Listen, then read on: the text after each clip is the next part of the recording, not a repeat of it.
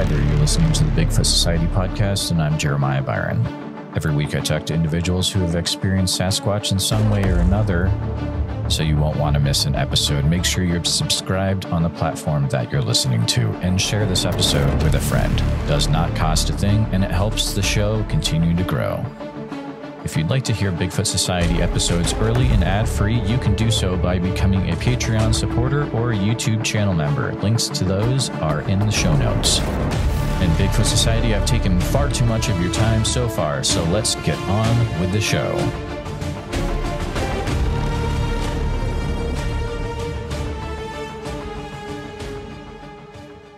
All right, Bigfoot Society, I've got the privilege of talking to an individual who contacted me recently. His name is Phillip from the Southeast Georgia area, specifically Savannah. And how's it going today, Phillip?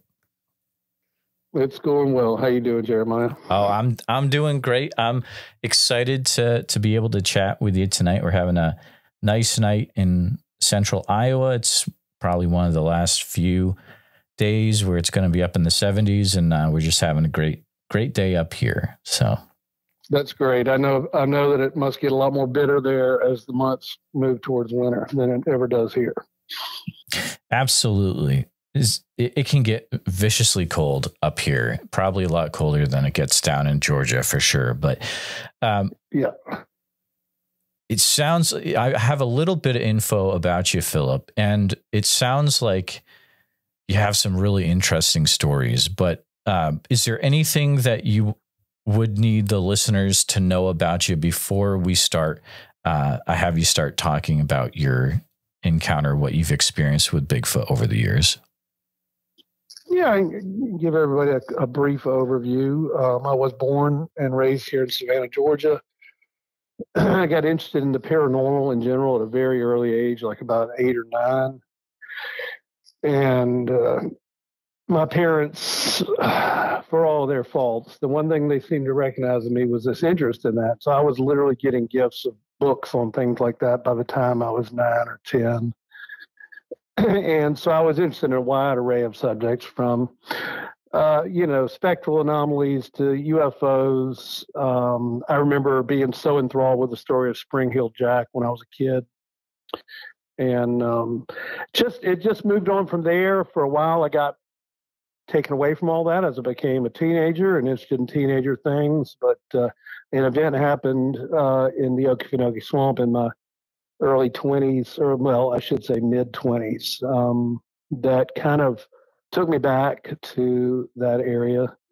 Then I stepped it all down again, and in the 2000s, um, uh, it, it, interestingly, the Bigfoot subject was brought back home for me um, through the uh, the Rick, Dwy- Rick Dyer hoax of 2008, um, which I was fascinated by. I mean, anybody with half of a brain up there would know immediately it was a hoax, but I was enthralled with how this man was able to continually rope people back in.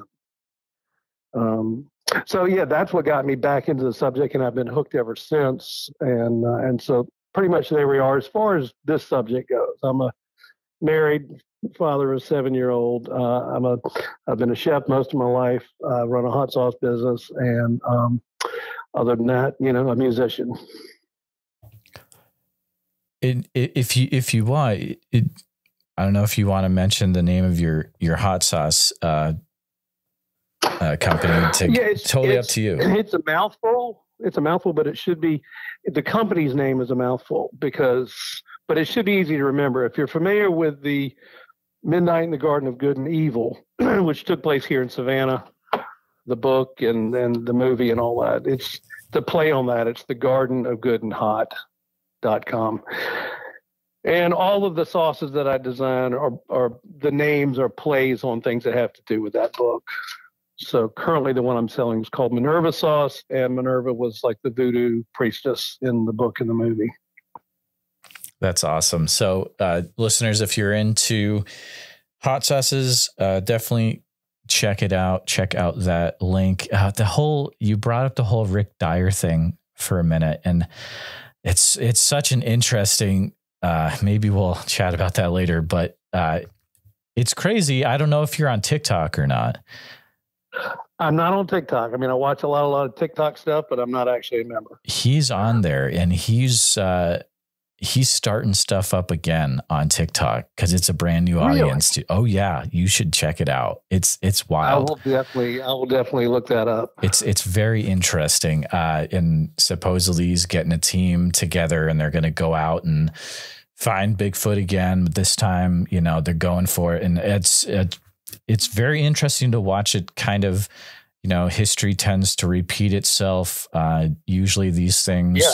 you know, all you got to do is you got to wait 10 or 15 years with with bigfoot right. and People it's enough time quickly. to forget yeah that's exactly right we all have big forgetters now um, everybody was worried in the future we'd all be thrown under the bus if we it, which is true but then within your comeback can come within a year because people were just on to the next victim by that point absolutely and like i mean take for example the whole like justin smeja like you know uh, bigfoot yeah. incident out out in the Sierras, I believe. I mean, like no one really remembers that anymore, and it's just it's it's wild. No, it's amazing how that's not that you know that's not that far back. But in terms of people's ability to keep things going in their memory anymore, it's it's a, it's an eon ago. It is, and you know who knows what's to blame for that? Probably all the stuff we've been gone through the last few years, or maybe it's our culture with we've got so many different things coming into you know, from our devices that we just we forget easier. Exactly. Knows? But our attention spans have been shortened, and we're you know, I remember one time I posted something that was literally just on Facebook of my own just thoughts about a certain subject, and it might have been three or four paragraphs. There were people literally going, "Good God, how long is this thing going to go on?" you know, it's, so that I think you're right. That has a lot to do with it. Is is just where we're going in terms of communication. Yeah, it's it's pretty wild. But but take me back to the first time that you had some sort of uh, encounter or some interaction uh, with Bigfoot. Where does our, our story begin with what you experienced? Okay. Is it okay, Jeremiah, if I real quickly take people back to why specifically I'd interested in Bigfoot just absolutely. for a second? Oh, yes, absolutely. Okay when I was, you know, a kid, I don't remember, seven or eight years old, something like that. My parents took me to this movie. I think it was called The Great Waldo Pepper, which starred Robert Redford. Something about a pilot during World War One or some something like. It's been so long, I couldn't really be sure. But back then, we didn't just have movie trailers; they would have cartoons and uh, shorts, movie shorts. And there was a short movie about Bigfoot. I had never heard of the subject ever. Of course, not surprising being that age. And um, I don't think I remember hearing any of the Sierra Sounds vocalizations, though some of them would have would have been recorded by that point, obviously. Um, but I remember hearing what now in my memory sounds like like the Ohio screams, Ohio howls, and seeing the Patterson footage. And I just remember I was just immediately gripped. Like part of me was afraid, but I was also so enthralled with this and just had this dead certainty, even at that age, that there was some truth going on here, even though I'd never been exposed to it. And I remember thinking because that they were talking about the Pacific Northwest, of course. That's all they were talking about back in the, those days, 70s, 80s. And uh, I just remember thinking, well, there's mountains in Georgia. Because I was just thinking in terms of mountains then. And we, we realized that's not even accurate only, you know. But I just kept thinking there's mountains in Georgia. I bet they're in Georgia. And, uh, you know, like I said, eventually that faded away. So I moved to Athens, Georgia. I was kind of doing the music thing during the 90s. And um, I kind of was, I guess, longing for some male bonding. You know, I just uh, wanted to get a bunch of guys together, go camping, you know, get some beer, try to fish, even though we were all poor anglers. We'd have plenty of ground beef for burgers because we knew we probably wouldn't be grilling fish, and that was very true as it turned out. We did this for a few years. You know, I kind of rounded up a whole troop of guys, like about maybe 12, 15 guys. And we did it for like three years. And if my memory serves me correctly, it was the middle year was 1996. And this was down in the Okefenokee Swamp. Were you familiar with that? Yes, I, I've heard of that swamp before. Yep. Okay, it's far south Georgia, and even part of it goes down into Florida. and it's the only place of its kind in all of uh, the United States. Um, it is very swampy, although technically it's it's considered a watershed. But when you go in there, it's just primordial. You know, it's it's the black water, the cypress trees, the uh, Spanish moss just dripping off of everything, and you know, uh, huge blue herons that almost look like miniature pterodactyls flying around gators everywhere. There's loads of bear, loads of hog, loads of deer. And anyway, I was uh, the first day we decided to take all the canoes out, you know, rent these canoes there and um, just go out in the canoes. And we thought maybe the second day we'd rent motorboats so we could get further up into the swamp. So that first day I was with my, I will name him by his first name. I have tried to find this guy on social media and have not been able to. He was my roommate and a pretty close friend at the time named Bob. And Bob and I got into a canoe and went off on our own. And the main lake down there in the area off of Fargo, when you go up to this Stephen Foster State Park, is called Billy's Lake.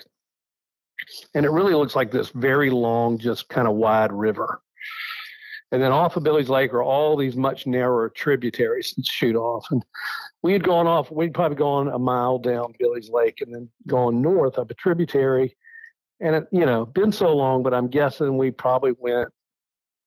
Even though these things get narrow, they just keep winding, and occasionally they'll open up again. we went up maybe a couple of miles up this tributary, and we were coming back down, and we were getting pretty close to where we would hit Billy's Lake again, to which we would have to then take a right to go back to our destination. But before we got there, I would guess that the tributary was probably 80 to 100 feet wide at this point, and we were pretty much dead center. And off to the right and ahead of us, and it's a real hard guess about how far ahead of us, we were hearing a bunch of commotion off of the bank, um, splashing in the water and stuff. And we there's a lot of when you, I'm sure you've seen this kind of landscape. There's all these cypress trees and cypress knees, but in this area there's a lot of other thicket there too including uh, yaupon holly and stuff like that, and of course all the moss. And so we're both paying attention. Bob's in the front, I'm in the back. We're looking over there, and I start going through this catalog in my mind of what it could be. My first thought was it's an alligator at the bank. You might be catching a fish. And then uh, every other large animal that I could think of went through my mind a deer, a hog or a bear. It sounded too big, really, to be. I know that small animals can make a big ruckus, like raccoons and stuff, but it really just in my to my ears, it sounded too big to be something like a like a raccoon, and they're typically not out, as you know, in the daytime. And we're getting closer and closer, and we so we get to where we're pretty much perpendicular to this area on the bank where the sound is happening and at a guess about 40 to 50 feet away from the bank. And this thing just stands up, and as it's standing up, it turns around with it so that it's now like it's turning to to turn away from us, so that I get a glance of it turning, and then just moving deeper into the trees. Very, it, I got this feeling overall that we had disturbed it. I don't know if it was getting a drink of water or trying to catch a fish. but the main thing um, that struck me is there were shoulders. And I could see 40 feet is not that far. I could see hair, but I could see through the hair to kind of a gray, almost like really like kind of a brownish. It was like the hair was brown and even the skin looked kind of brown.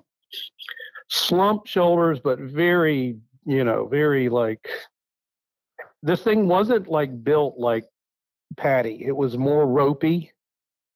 Um, but to me, my just I just saw these shoulders, and I just you know bears don't. Everything has some degree of shoulder, I guess, but they don't have these visible shoulders.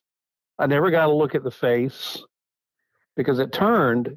The thing that struck me more than anything else was probably that as it moved away from us, it just appeared so smooth it looked like it was gliding back into the woods.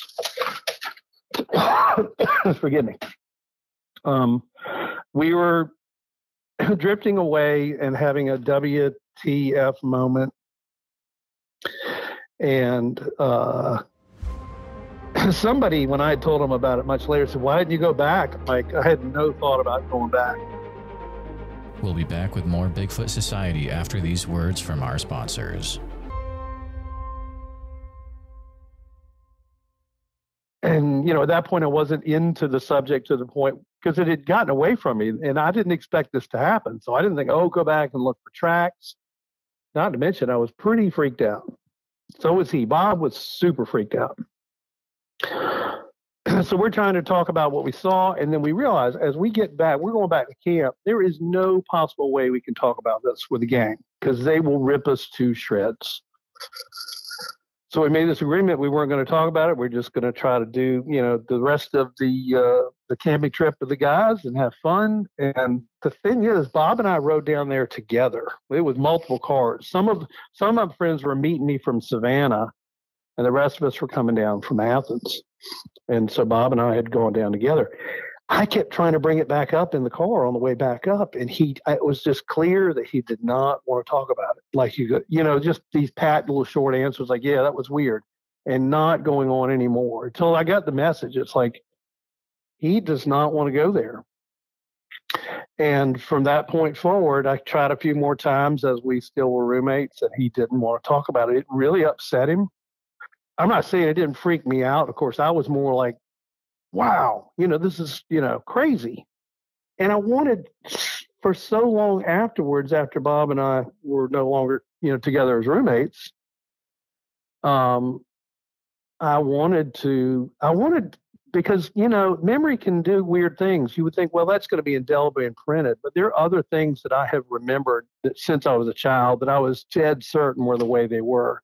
And then I would share them with another family member or something. They go, no, no, that didn't go down like that. So he remembers always kind of re-editing things. And I needed Bob to be able to verify what I thought had occurred. And I, you know, that's never happened.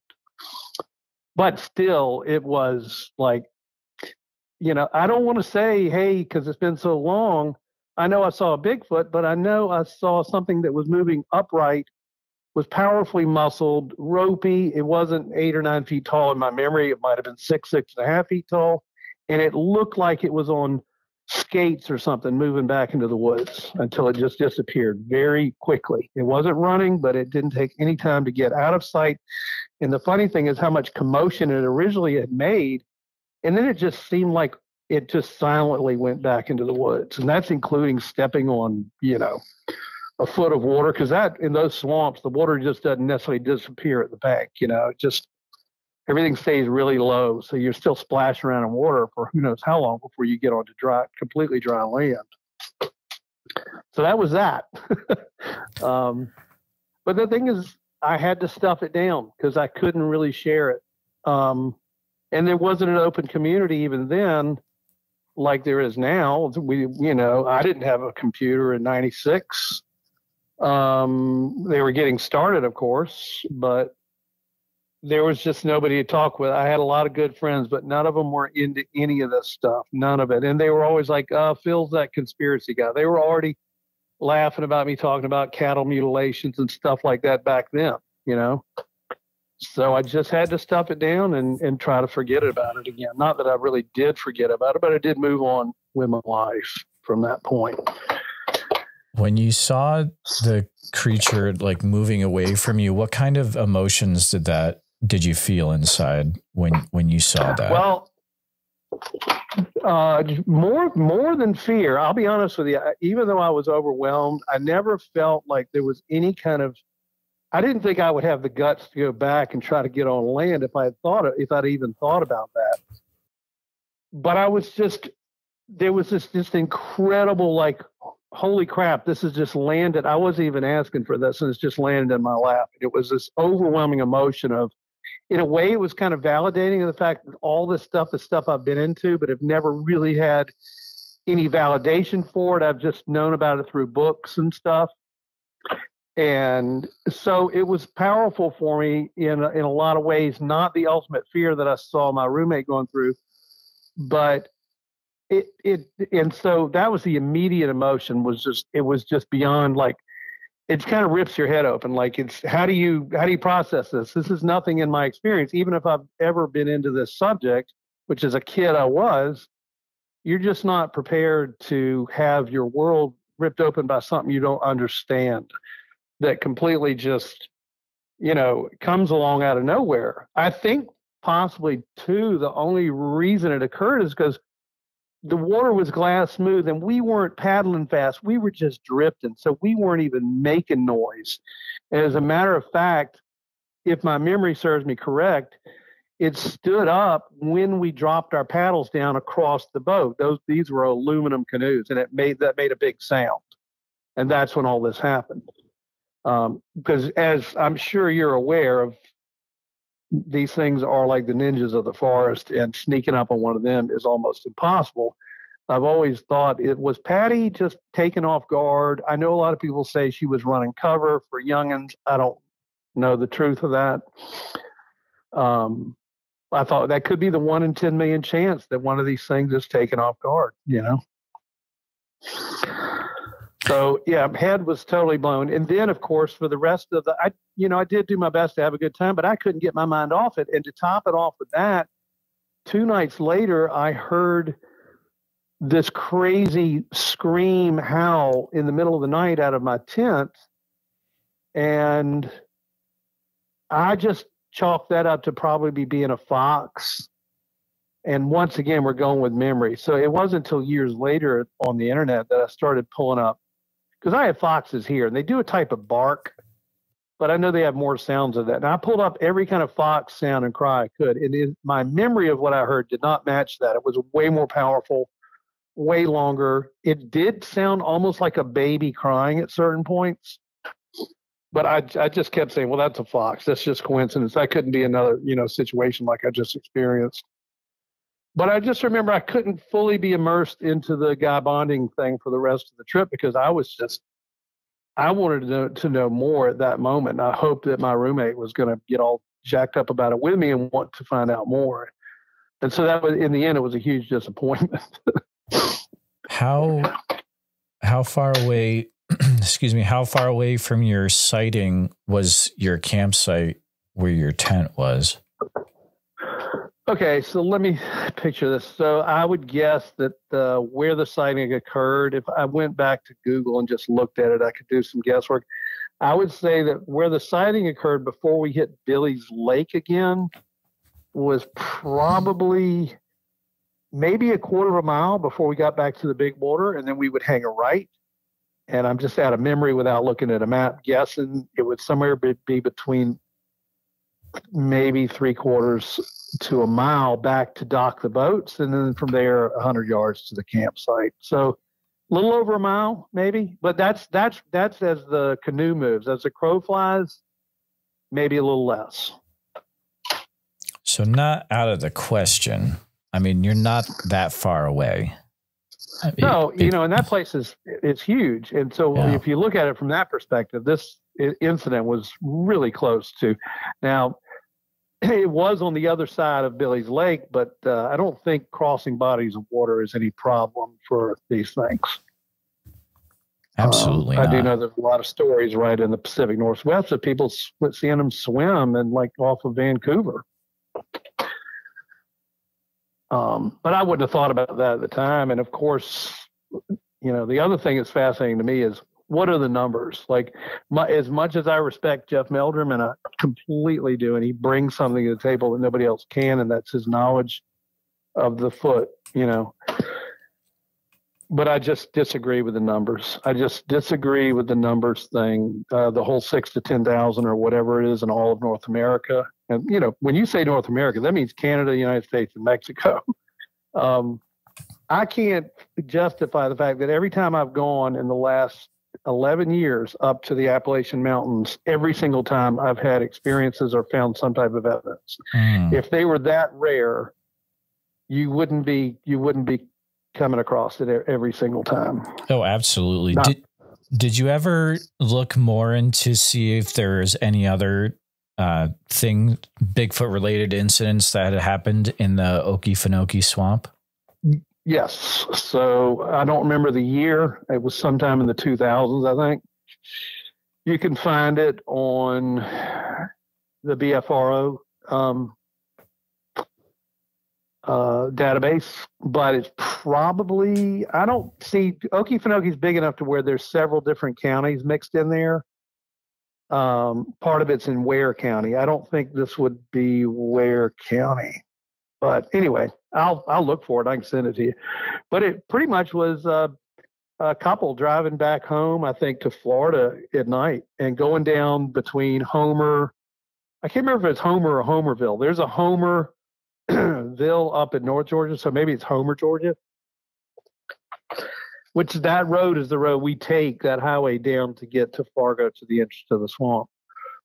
and they were um they were driving down the road at night and they saw this thing ahead right off the side of the road. It appeared to be eating roadkill. And it stood up and it was interestingly the description of its height and all that as i recall and its look was kind of similar to what i could remember seeing. They didn't they didn't want to stop though. I think it was pretty shocking for them. You know there's another account that's you can find it online it's from like 18 1829 29 yep You've seen it? I've seen it before. There's like a, it's like a Bigfoot attack, or like they see like a uh, crazy, massive, like yeah. A, you know. And of course, there's no way that could be wild fantasy. But I will tell you one interesting thing. In that story, these people apparently trekked to what they say is like the very deep recesses of the swamp. Well, I was going over Google one time and looking at the area where we would go camping and the general area, and then I moved eastward more into the center of the swamp. and there's an island called Bugaboo Island. Mm. And bugaboo is a similar word to like booger. Okay. Maybe nothing there. Maybe nothing at all. But I thought it was kind of interesting. That word has come now, up there's a, a few lot of times. Other people that make what's that? That that word has come up a few times, so not surprising. Yeah. You know, I think there are a lot of other stories from that area, but I don't know if anything's really logged in with the BFRO, which we know is the biggest database, but by no means comprehensive. Exactly. And it's a thing where half of it you can't see publicly, right? And um, I also like, I don't know if you have you looked into the Bigfoot mapping project as well?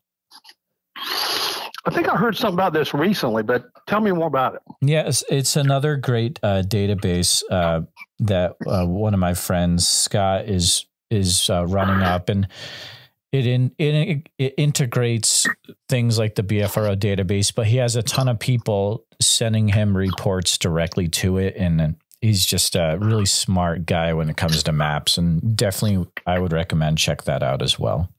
Oh, cool. So the big I know I've heard about that recently, so I'll definitely look that up. Yep, definitely. Bigfoot map, uh, Bigfoot mapping project. So good stuff. Okay, great. Um, so that, you know, that I wanted that to get me back into all this, but it didn't because I didn't have anywhere to go with it. Mm. And as we discussed earlier, it was 2008 when I got back into this subject in a most interesting way. Okay. My twin brother called me up going, and he, my twin brother hated for me to talk about Bigfoot. He tried to micromanage situations where around relatives, he'd be like, don't be talking about Bigfoot around our aunt, stuff like that. He was like really embarrassed about it. But he called me up one day saying, I've got to put it on the news. They found Bigfoot in Georgia. And uh, I, you know, being into the subject or not really being back into it, but of course, still having it in the back of my mind always, I was curious. But even then, just I get skeptical of stuff like that immediately. So I uh, looked it up on the internet, and sure enough, there it was. And immediately when I saw this ice box, I was like, this is hilariously bad. And I couldn't believe that my brother was so into it because he didn't normally wasn't into the subject, but for some reason, this was proof to him. So then I had to dispel that. But that's what kind of got me. It's not kind of. It really got me back into the subject, and even into the subject of the anomaly of a person like Rick Dyer, who could gain this cult following and to some degree. I'm not saying the guy ever made it rich or anything, but he must have been profiting to some degree off some people's utter devotion to him. We'll be back with more Bigfoot Society after these words from our sponsors.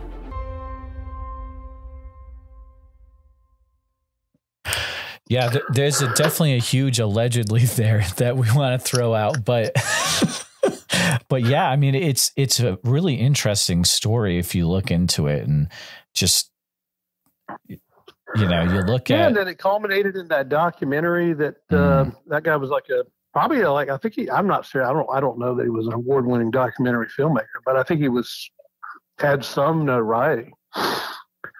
And um, I remember there was a lot of stuff that led up to that. There was that intersection somewhere in Texas where there's basically a wooded area in between all these highways. And there's like a homeless encampment in there and they're talking about a Sasquatch being in this homeless encampment. And I guess that's all part of what led up to the documentary. Like, do you remember Blair Witch Project? They had like a oh, whole oh, yeah. documentary on on the uh, on the Sci-Fi Channel about the Blair Witch, leading up to the movie's release, which really gave it this like it made people think this was even though it was being sold as fiction, it was based on a real story and I think that must have been sort of what he may have borrowed from was the idea of interviewing these homeless people and, and, and all this stuff. And then once the movie came out, that was the because uh, I remember finding that spot on the you know on the map. I'm like, well, that's a about 100 yards of woods surrounded by freeways everywhere. Mm. So, not that I'm not open minded to high strangeness when it comes to in terms of possibilities, I don't embrace anything, but I, I am not like I am open to very high strangeness. I've ex- even experienced a little weirdness myself, and it had, as it's come to getting into this subject. but at the time that came out, I definitely would not be open to the idea of a Bigfoot somehow making it into a little green space that's surrounded by freeways on all sides. Sure. So uh, I think the first foray I made it out is the forest after 2008. So it's it's five years of me just looking into everything on the internet, finding some of the dominant personalities and all the big stories, like we all do. And um, I made an arrangement to uh, go up to North Georgia in 2013 with some friends. We weren't going to be roughing it. We were getting a cabin but the cabin was in a pretty remote area, west, no, east, northeast of Helen, Georgia, about seven miles east, and then a little bit north. And um, you know, it it was. I found some interesting things. I found my first. I will say my first possible. It was definitely a footprint. The question is whether it was a human footprint it was on a sandbank uh, on the Soque River. we left the cabin and then just kind of trekked through the woods. There were no trails, but we found a long abandoned logging road, and we started to follow that. And the logging road went right alongside the bottom of the mountain, and so it was sandwiched in between the Soque River and the mountain. So we knew we can go up as far as this thing stays in between the river and the mountain because we'll know how to get our way back. So went back, went probably up a mile or more up this road, and eventually I found a uh, I found this foot track right on the sandbank by the river. It didn't have any heel impression. It didn't have any tread impression. Um, and it you couldn't see toes, but where if there were would have been toes on this print, there was a lot of sticks and stuff right there. But I did film it, and it was about maybe somewhere between a quarter and a half inch deep in the sand. So I, the time I may have, may have weighed about 205 or 10 pounds. So I put my foot not too far next to it and, and not only put my weight down, but tried to actually push into the dirt as hard as I could, which was wet sand. It was like a wet, sandy bank. I couldn't get more than a couple millimeters into the sand. So, unless you could argue that when the sand was dry, maybe it was easier to make an impression. If it, at, the very least, it was probably a very heavy human. Um, and so I, you know, I was pretty excited about that. I also found an interesting hair not far away from it, which I promptly lost. I put it in a paper football that I made, stuck it in a book, and then years later decided to go back and find it. Uh, just who knows what I did with it. And even though there were a few other interesting things, that was enough to keep my interest. It wasn't a whole lot, but it was enough to keep my interest peaked. And then I went to the mountains again in 2014 with my wife and my dog to an area I've been several times now, the Fort Mountain area in Georgia. You know where that is, Fort Mountain? I'm not familiar with that one. I'm familiar with the Blue Ridge area, but uh, not well, with this Fort is, Mountain. Fort Mountain is literally right below Blue Ridge. Oh, well, there you go. So you know where the Bigfoot Museum is now? Absolutely. Yep. This is just west of that. It's called the Cohutta Wilderness. And then there's Fort Mountain, which is also a state park. Okay. And we got a cabin uh, down a dirt road.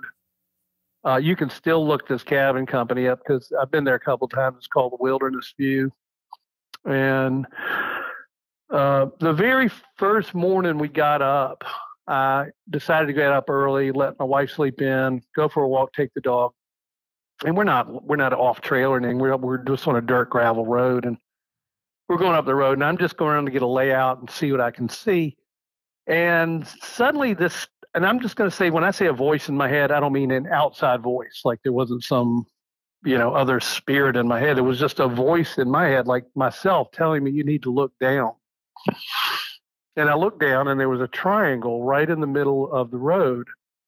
And the triangle was fashioned out of one stick. It wasn't three sticks. it was a stick that had two breaks in it, but they weren't enough to make it totally snap. There was still part of the stick keeping it together, and it was perfectly formed into a little triangle. And I found it very curious. So, you know, obviously I got some pictures of that.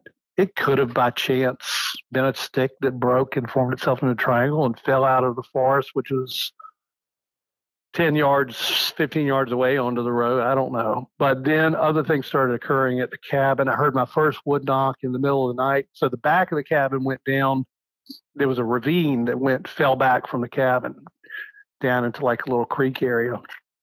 And every night I'd sit on the porch at night late till about three or four in the morning and heard my first wood knock. It was just a lone wood knock. It was loud. It sounded like it could have been at least a half mile away and was reverberating through the ravine. Very lonely sounding. And I found my first tree structure when we went up to um, Lake Conasuega. I've never known how to pronounce that. These are like assuming all native names, but Lake Conasuega or Lake Conaswaga. It's at the top of a mountain in the Cohutta Wilderness. We, I found my first uh, tree structure there, and got a uh, I got a some some interesting uh, what I thought later. I got footage of what I believe are a lot of different juvenile tracks in the mud and I got that on film. I filmed that. I never, I've never had casting material. I never go out like with pack of stuff. Well, in case I find a track, you know. I've got, so I just generally document it if I've got something with a, you know, phone.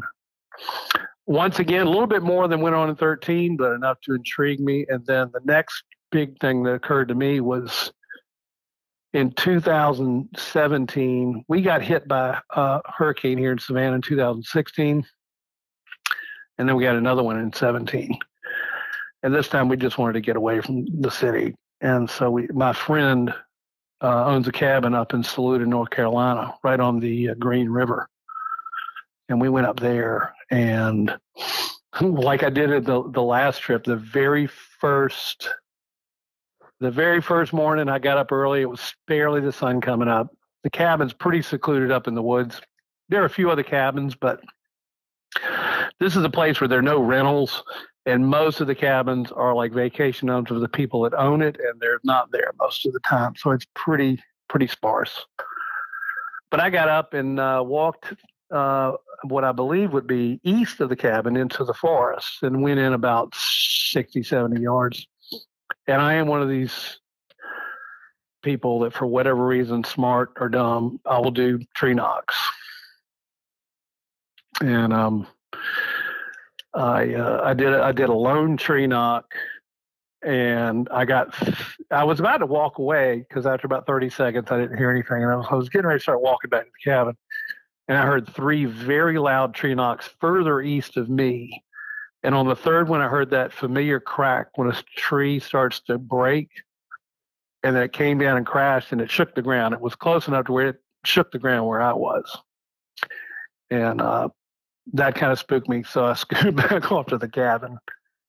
And since then, every time I go up to that place, that cabin, I have not had any sightings but I've had what I feel is contact with what might be a family group up there. And I've got hours of um, field recorder recordings that I need to sift through and isolate the, the good stuff and get it separated and into a computer. It's just still sitting in my field recorder because I would go I, I would go up from the cabin a little bit uphill from it. This was an area that I felt just felt this feeling that something was going on up here and finding a lot of interesting tree breaks and things like that. And so, I, you know, I started hang like on the first night I hung up the tree recorder. I, I'm one of these people. I'll talk to the woods because I don't know what I'm dealing with. Right? I don't know. I don't profess to know what these things are or what you know what I mean. And I've got some friends that think they're our forest brothers that are here to usher us into some new age of enlightenment. I've got other friends that say these things are just pure evil. And I just don't really embrace any one thing. And I have to go by the idea that these things could be just mostly wanting to do their thing and be left alone. Some may be curious about us. And some of them may be friendly and some of them may not. So anytime I go into the woods, I, I pretty much, of course, I only have the English language to work with, but I say, hey, I'm here out of, you know, I'm come in peace, basically. I'm just curious. And um, and so I let him know I was hanging this recorder from a tree. And one of the things I did was I wanted to put it on a branch that was brittle enough. It was strong enough to hold this lightweight field recorder, but brittle enough to where high enough off the ground to where no raccoon could reach it. And if they climbed up the tree and had to get on the branch to get to it, they would break the branch. Um, and uh, so I, I was, I had my cell phone going at the same. I was recording with my cell phone. I turned on the recorder. I sat it in a little bag and tied it off on the tree. And I was talking to the woods saying, I'm just letting you know this is not a camera. This is, but it does capture audio. You feel silly saying this stuff, but at the same time, I feel compelled to do it. And so I, I was with my wife, and you know, it's nighttime. I've got a flashlight, but I'm not aiming it out in the woods. I'm just keeping it down right in the immediate area below me where I can see what I'm doing.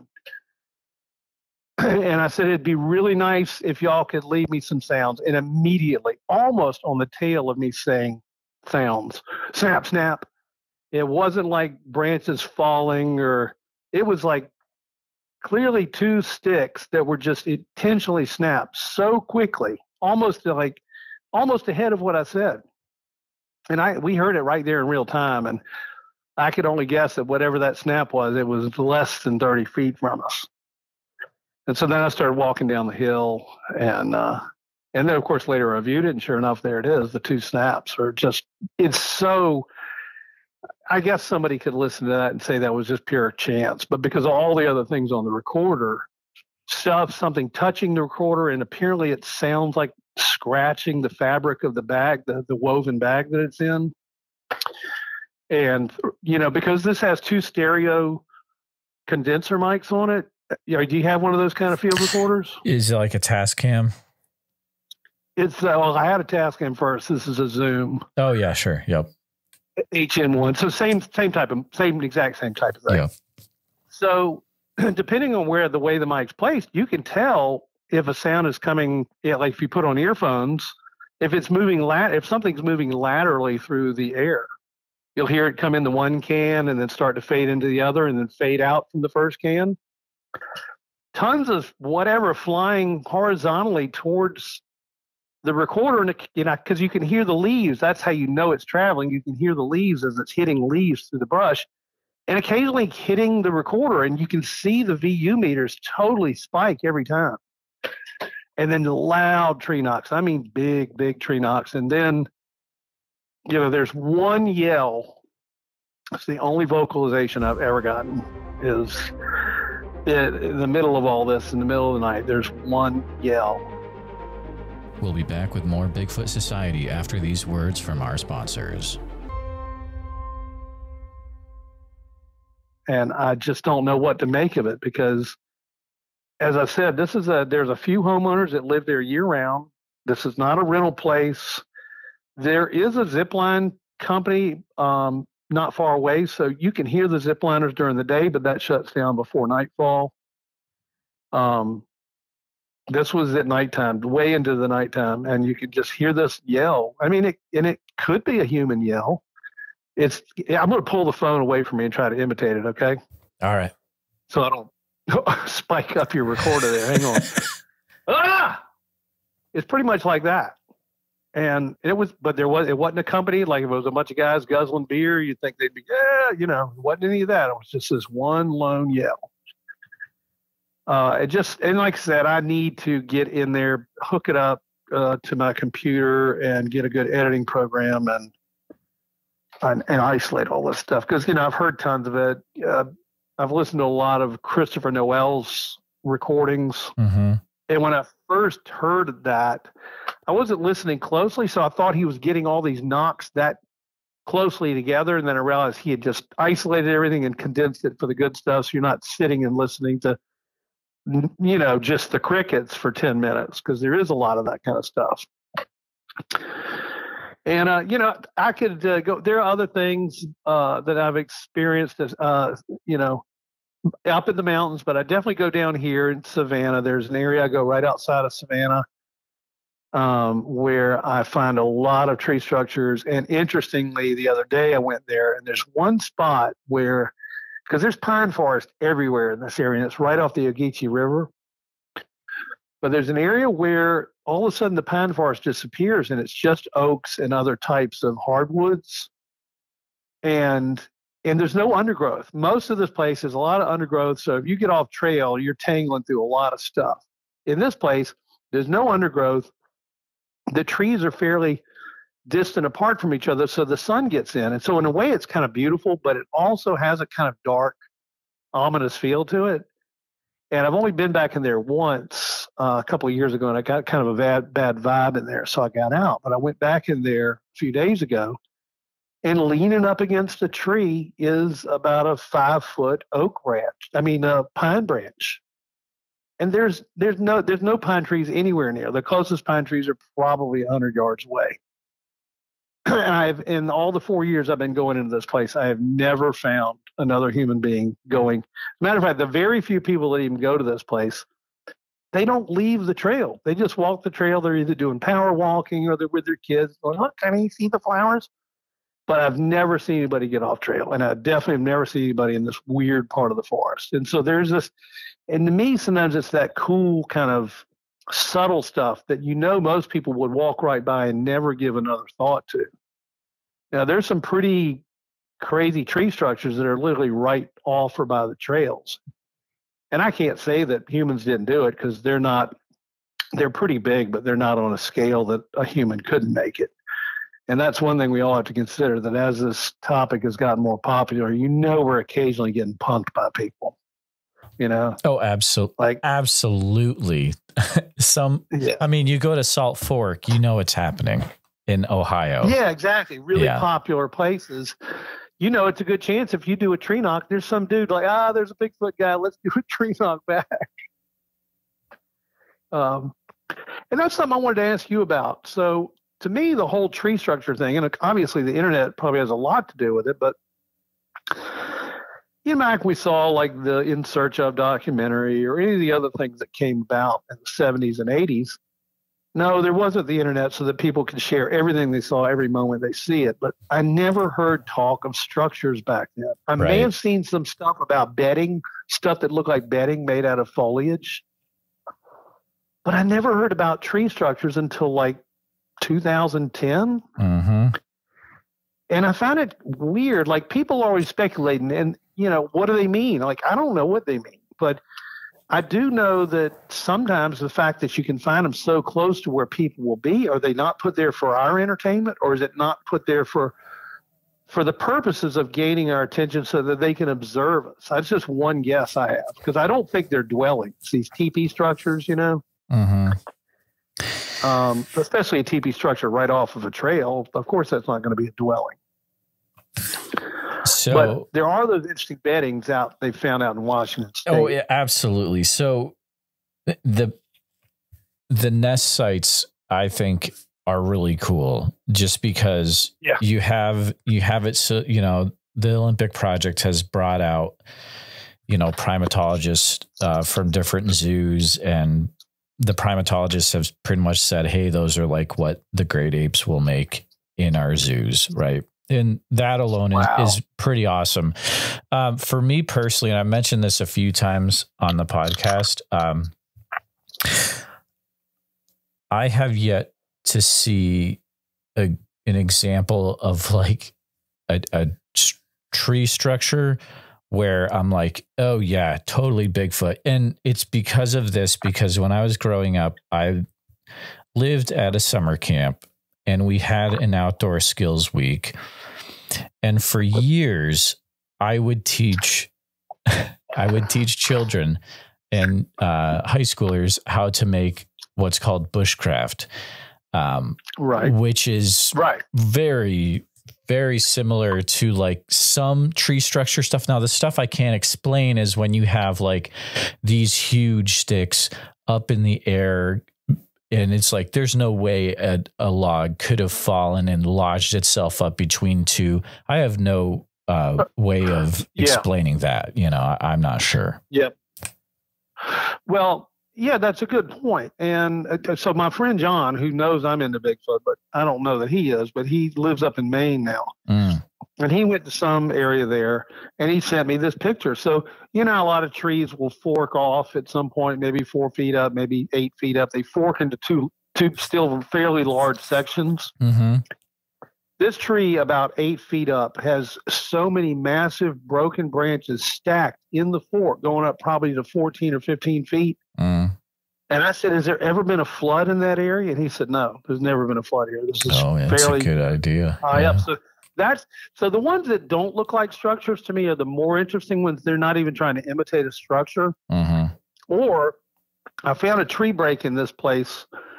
And see, because I've gone to this place so much, I pretty much know the trails and what's off of the trails like the back of my hand. Now, I don't know the whole forest that way because I, I will go off trail into the forest, but I, there's so much of it, you don't know it that well but the hiking trails I know, and I pretty much I will recognize things that aren't there that were, or that are there that weren't there the last time. So one time going down this trail, I literally had been there a couple days earlier, and this sapling, and when I say sapling, it's it, I don't want you to think of like this six foot tall tree that's a half inch wide. It's probably three inches wide at the base, maybe four, but goes up probably 20 something feet and a good 16, 17 feet off, it was snapped. And this was not rotten at all. And, you know, you could argue, well, there was maybe a wind event. But the thing is, I'd just been there and there'd been no wind event up to that point. And even more interesting is right next to this sapling is a sapling pine tree that literally is no wider than three quarters of an inch or an inch at the most, just within like a foot and a half off of this other sapling and I pushed it over my pinky. It was so dry rotted. Why wouldn't the wind have just totally knocked that thing down? So that's interesting, like a snap tree that wasn't snapped. Or when you find now, what do you think about the Colorado Bigfoot stuff? Like I literally remember seeing a video of his where uh, he's an interesting character. I'm not saying I necessarily am on board with a lot of his thinking. Okay, so it's just the d- sorry, define Colorado Bigfoot stuff because I thought you were talking about the whole train video thing.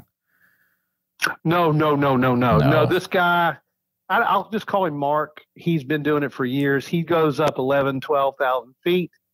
He's definitely an individual, a character. Um, but he he has, you know, he's just trekking. He's not going on any trails. He he goes miles in on one day and then finds his way back out. I literally saw him film it was a whole tree that had apparently been ripped out of the ground uh, by the roots and was woven vert like horizontally with the ground woven between other standing trees. And we're talking a good 70 foot tree. Like there's no machinery up there. There's no like equipment. And when you look at his videos there's just so much down tree stuff. It's like there's there's 10 times down trees for every standing tree and so many of them if you look at them that's the one thing i always look for when i find stuff with a down tree is the root ball at the base? Is there a dead root ball right near where the base of the tree is? And a lot of the stuff he films, there is no root balls anywhere. It's, it's almost as if these things have been pulled in and used for later construction. And the arches, the X's and the arches and the things that he finds are on such a massive scale. I've never seen anything like that here in the southeast. Like they're just and they're just so numerous if you have, you may know who I'm talking about, but if you haven't, you got to check out his videos. I actually haven't, or even just pull up a compilation video. I haven't heard of this guy yet, so I'll have to check him out. Is his username like Colorado Bigfoot or something like that? Or his Colorado Bigfoot is a username, and I okay. just he probably won't. His his name is Mark with a C, I think M A R C Abel A B E E L. He has a lot of detractors because they don't like his theories about what these things are. Uh huh. And it to me, it's like, well, I don't have to agree with him about his theories, and I may or may not, but it's just the cameras. It's just what the camera's finding, the video footage. It's in. It's un. It's insane. It's, you know, here I can't say that. Like if I tell you I find a structure, like I'm going to say, well, I don't know whether this was human made or not, because everything I've ever found in here could easily be made by a human. You know. Right. Absolutely. Um, yeah. I have to check that out. That sounds very interesting. Yeah, it seems like the Colorado, and th- you don't even see this up in, at least in terms of the people that I follow. The structure stuff in the elevations of Colorado and Utah, for some reason, are just on a scale that's completely different than almost any other area that I've seen somebody film. Mm. Maybe some interesting things like that in Arizona and stuff too, though, or New Mexico. Um, but yeah, I don't know. I don't know what to make of it, but it's it's right there on the camera. He's he's filming, and you're watching, and you're just so oh my god, I've never seen this kind of scale of down trees and loops and arches and X structures and X structures on top of X structures. It's just it's absolutely insane. Well, I mean, um, listeners, if you if you've watched this guy, let me know in the comments what you think about uh, what you've seen on his channel, what you think about the stuff he's uh, filming could be some interesting conversation. But uh, uh, Phillip, it's been it's been a fun chat, man. I don't get to do a lot of uh, Georgia episodes, but man, you guys have some really interesting things going on out there. Yeah, I think so. And I, you know, even though I think it's also happening down here in Southeast Georgia, there is a difference to me. The activity level in North Carolina, Georgia, Tennessee, mm to me, it's almost like whatever's there is a little bit more bold. Oh yeah. Um, maybe because you're in the mountains, you're tucked away. If you're living in flatlands, you really don't want to be drawing attention to yourself too much, you know. Um, but you know, it's some interesting foot tracks and things. But you know, I've only had the one sighting, which I myself now put into question because of how long ago it was. I've never had another sighting. Um, you know, I think that's a lucky thing for somebody to literally have that kind of moment. You know, oh, you can absolutely. only hope for it. Yeah. Absolutely. And no, thank you for having me on. I really appreciate it. And Phillip, keep me in uh, keep me in the loop if you ever run into any other interesting stuff. And I'll have your uh, uh, I do want listeners check out Phillip's hot sauce. Dude, I like I'm I'm a hot sauce guy. I've just started to get oh, cool. I started to get into it over the last few years, just randomly. And like we have some we have some interesting stuff out in Iowa. It's not like the most crazy stuff like you guys have in the South, but uh, dude, uh, I'm I'm a fan of it. So listeners, go check out. I'll have uh, the link in the show notes. So uh, keep up the good well, work. I do Phillip. appreciate that, and um, uh, yeah, my you know I'm totally into hot sauces, but I, I, the kind that I make are not melt your face off. They're enough to get your attention, but I'm really into having a lot of strong flavor in there. There you go. There you go. All right, sir. All right. Well, thank you so much, Jeremiah. I'll I'll stay in touch with you. You you as well. Have a good night, sir. You too. Thank you so much. Bye bye. Here at Bigfoot Society, our goal is to provide a platform for those that have encountered Bigfoot to share their encounter in a safe and respected environment. But we need to hear your story. If you've experienced something that you just can't explain, please send me an email at bigfootsociety at gmail.com. Then we can start the conversation. I know a lot of you have not shared your encounter at all. It's been 20 years, and it's time that you get this off your chest, and then you can get some well deserved rest because I know you haven't been sleeping. I understand what you're going through, and I appreciate every one of you listening.